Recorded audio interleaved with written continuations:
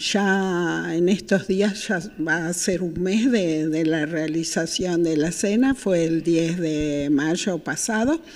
Y bueno, realmente se reiteró el éxito eh, de, la, eh, de la convocatoria a la comunidad para un fin tan noble que, como es el que nosotros venimos bregando en la fundación, ¿no es cierto? La asistencia al enfermo oncológico sin recursos y los últimos tiempos también al que tiene recursos o al que tiene obra social o prepaga porque este, cada vez se complica un poco más eh, que estos organismos, ¿no es cierto?, que nos asisten cuando tenemos esa, esa Mm, esa virtud realmente, diríamos, de poseer una obra social o prepaga, eh, demoran un tanto. Y en este tipo de enfermedades eh, la demora es muy significativa,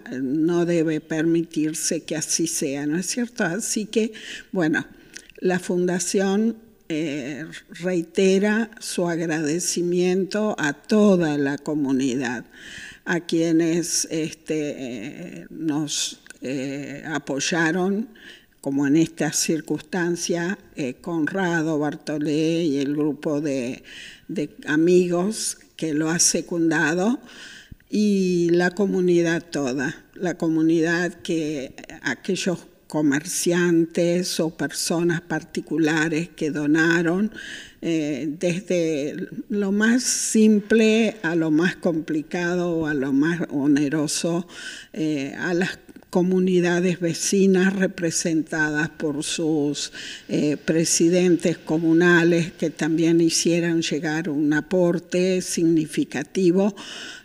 sinceramente, no, no encontramos ya palabras como para manifestar nuestro agradecimiento por este esfuerzo compartido.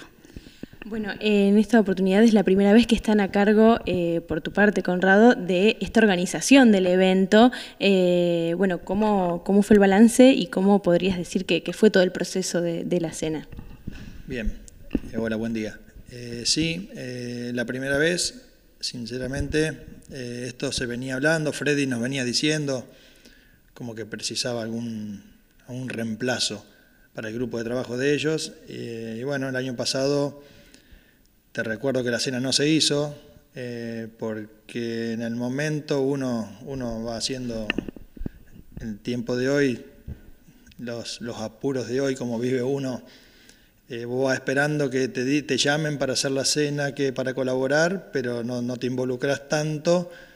Y cuando vos preguntaste, dije, no, este año no se hace. Bueno, ahí tomamos la decisión eh, de hacerlo, porque como comentamos ese día en la cena, yo creo que fue un movimiento eh, de Freddy, que fue uno de los precursores de esta cena, un movimiento de, de ajedrez, le digo yo, porque él largó sabiendo que había algo atrás, digamos, algo había sembrado, con el riesgo, con un riesgo que, la cena se pierda, pero bueno, eh, yo creo que él sabía que había un grupo atrás que le había hablado ya a varios, y bueno, alguien iba a tomar la posta. Y bueno, dijimos con un grupo de amigos, vamos a hacerlo.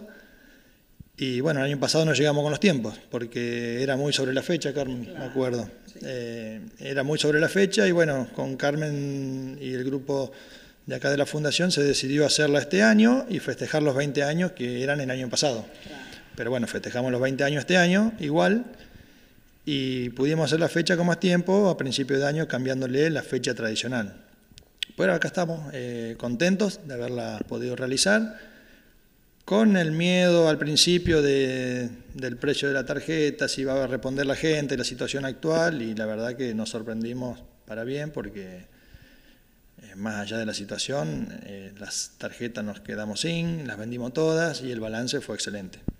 Eh, bueno, recordamos que esta cena se hace para recaudar fondos para la fundación y en esta oportunidad quieren comentar aproximadamente cuánto fue lo recaudado a través de esta cena de la que participaron, si no digo mal, más de 500 personas.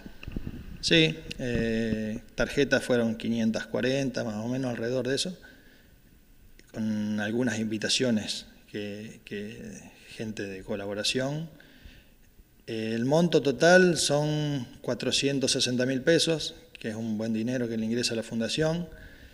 Está alrededor de eso, va a haber centavos más, centavos menos, porque aparecen gente que de última aparece y dona algo. Eh, pero bueno, estamos cerrando en ese número.